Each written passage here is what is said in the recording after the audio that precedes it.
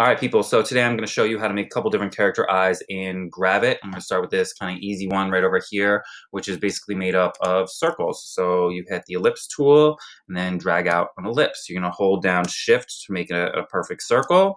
And then we're just going to cut it in half with the knife tool right here. So you hit the knife tool and then you click and drag over your shape. You can hold down shift to make it a straight line and you can see the line pops up there. And then you can just go to your selection tool and click away from the shape for a second and then click back on one of the shapes. And this way you can edit um, either half. So this bottom half I'm just going to make it you know a little off-white. And this top half I'm going to make it a skin color. Like that. Looks pretty good. I'm going to kind of put them back together and duplicate this bottom half, make it black so we have an iris. So with the bottom half selected is Control C, Control V, and it's pasted right on top. I'm going to make that one black, and then I'm going to resize it. Um, this time I'm just going to resize it again with constraining the proportions and holding it um, to the center. I'm going to hold down Shift and Option or Alt and then you can make it a little bit smaller and bump it right into place. And now you have uh, eyelid, the whites of an eye, and the iris or pupil. You can, if you want, add um, you know a colored iris and then a dark pupil, or you can just uh, put on a white highlight it's basically it. You can have fun with this and take it a few other directions. Like I added an extra little um, crescent up there. But I'm to move on and show you how to point the corners of an eye.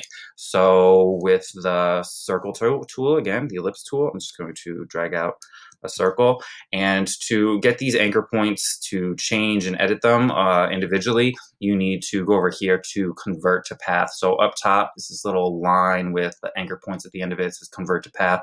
Convert it to path, and then you can edit those anchor points with the sub select tool. So D is for sub select, and now you can see that um, you, the bounding box disappears and you can edit each one of these uh, anchor points individually. So I'm just gonna edit the the joint over here in appearances. You can I have these different options for joints. I'm just going to make it a straight point, so it comes to a, a point instead of a curve.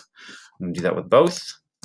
And then resize it a little bit. I'll just go back to the sub select tool, or not the sub select, the pointer tool, and squish it down a little bit. So now I have uh, basically the outline of an eye. I'm going to put a circle for an iris and a pupil in it. So I'm going to hit the circle or the ellipse button, drag out an ellipse, and make it a pretty eye color like blue or purple, purple blue. All right, and then I'm going to make uh, an iris, or excuse me, that is the iris. I'm going to make a pupil. So I'm going to Command C, Command V, and change that top one to, whoops, change it top one to black. All right, now I'm going to resize this. Um, again, I'm just using the regular select tool or the, what do they call it, the pointer tool. And I'm holding down Shift and Option or Alt and dragging the corners in. That's it. So now I have the white part, the iris and the pupil, but the iris and the pupil aren't really fitting within the white part of the eye. So I'm just going to uh, select both the iris and the pupil and group them together by, um, we'll select both of them by holding down shift click one and then click the other.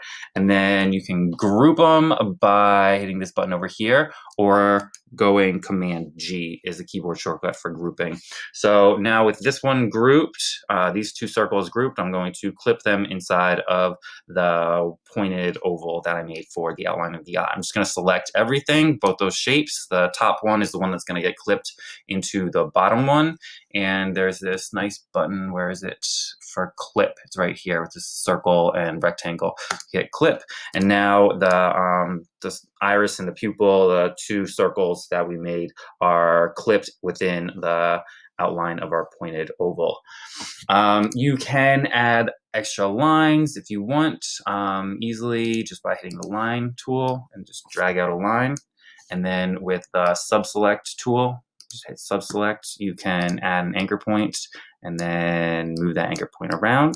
And again, the joints over here, uh, right now it's at a pointy joint, so you can just change to a mirrored point and move around just like that. You can change the border, the width, the color.